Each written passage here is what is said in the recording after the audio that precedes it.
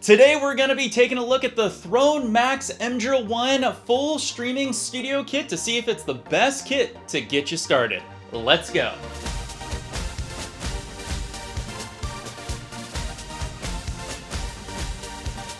Hey, it's me, it's Wild coming at you, and if this is your first time here and you want to learn how to grow and improve your stream, make sure you hit that big red subscribe button and tick that bell so you know when my videos go live for you.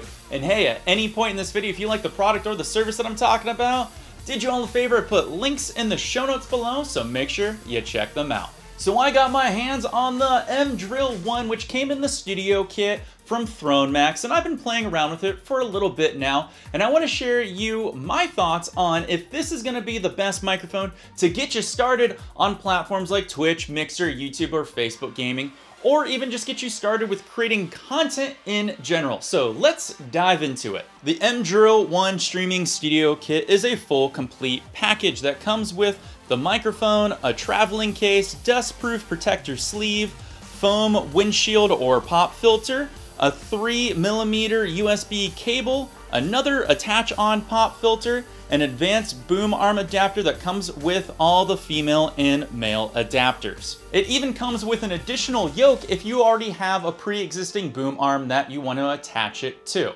The M-Drill 1 microphone is a USB Type-C microphone that is a plug-and-play unit. It has Vertigain technology, which is a sound-enhancing acoustic chamber that gives 10% more clarity due to its three 16 millimeter condenser capsules. Has a plastic lower body with a metal vertical design chamber on top designed to increase sound quality by not breaking up the sound wave patterns as much on a normal mesh microphone. Has easy polar pattern swap with one touch button, comes with four polar patterns, cardioid, stereo, omnidirectional and bi-directional, has a one-touch mute button, bottom LED changing mood lights, has on mic gain and headphone levels which are displayed on the microphone body in different colors, comes with one slip-on pop filter and one metal mesh pop filter. The M-Drill also comes in the nicest packaging I have ever seen for a USB microphone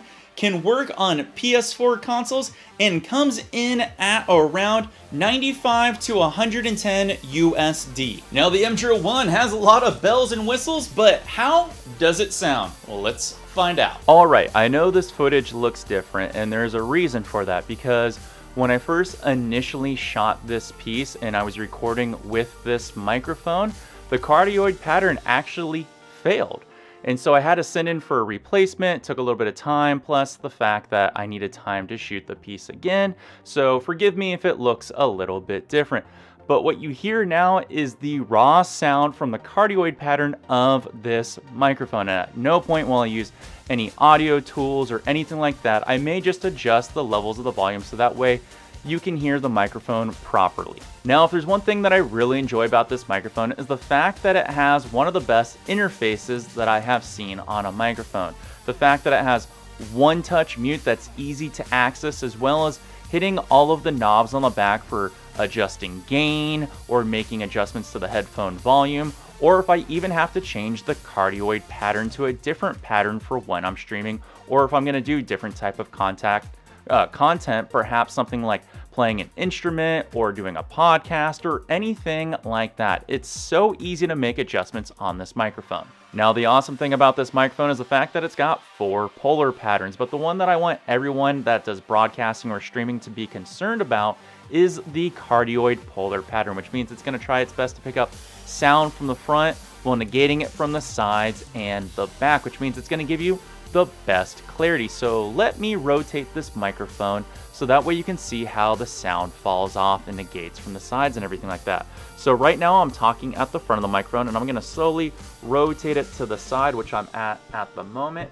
And now I am talking to the back of the microphone, rotating again to the side and now I am back at the front of the microphone. And that's how this cardioid polar pattern sounds. Now, as for the sound of this microphone, I think the best way to describe it is decent. You know, it's just a decent microphone. It's way better than any other average web camera that you're gonna get out there that has a microphone or anything that's gonna be on your headset as you're streaming. This is dedicated for picking up clean and crisp sound, and that's where it excels at. I believe this actually has really good, crisp, and clean sound, as you can hear.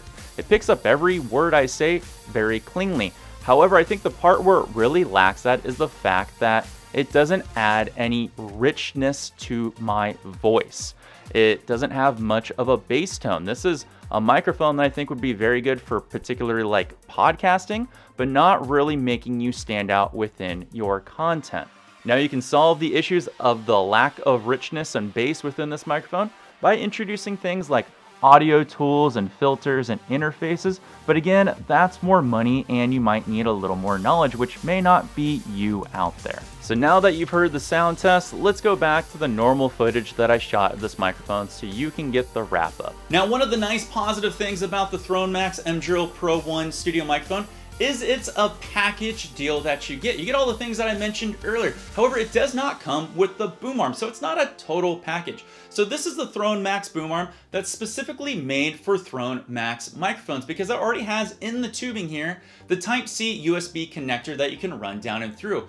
And it is a good boom arm. However, it does also have its flaws. The reason I have it slinged out so far is because that's the only way I can get true balance out of it. If I actually go in here and make adjustments and try to go to right here, because I want to have more of a 90 degree angle, well, one, two, three, bye, it doesn't stay in position.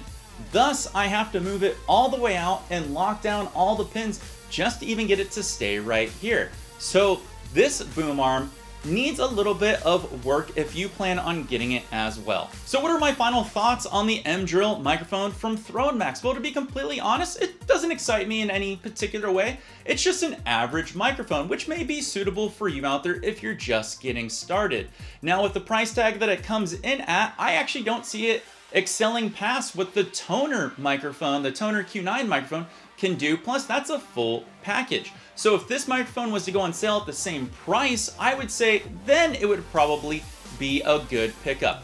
However, I will recommend this microphone for two particular reasons. If you're a PS4 streamer, this microphone does work on a PS4 console, which is exceedingly nice that it comes with the actual cable that you can get it close to your mouth so you'll have clearer sound opposed to what you already probably have on like a janky headset or a cheaper microphone. Number two is if you're the type of content creator out there that plans on doing a multitude of different type of content, and I mean like game streaming, YouTube videos, interviews, podcasts, maybe some singing on both sides, or you're doing any type of playing of an instrument, since this has all the type of polar patterns which you would normally have to pay way up for on a better microphone, you get the accessibility on this microphone. So that would be another reason why I would recommend this microphone for you.